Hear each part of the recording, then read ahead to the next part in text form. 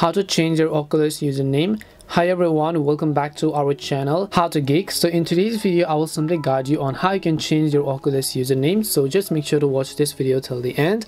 In order to actually change our Oculus or our MetaQuest username, it's very simple. First of all, go ahead and then download the MetaQuest application. Then simply search for the MetaQuest app, open it up, then make sure to sign into your account. Because you can see I'm already actually signed into my MetaQuest account. So once you're signed in, what you have to do is just tap on the menu like icon from the bottom right hand side of the screen.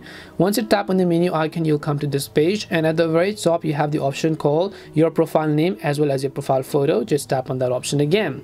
So here if you look closely you can see our display name and then you can see our username after this at the rate right?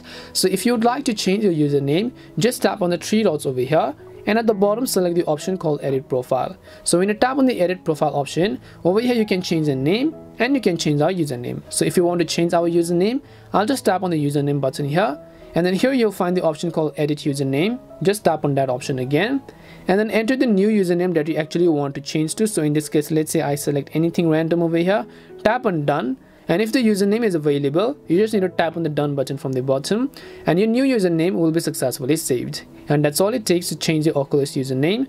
We hope the video was really helpful. And if it did help you then make sure to leave a like and subscribe to the channel. If you have any questions feel free to leave them down. Thank you very much for watching and see you in the next video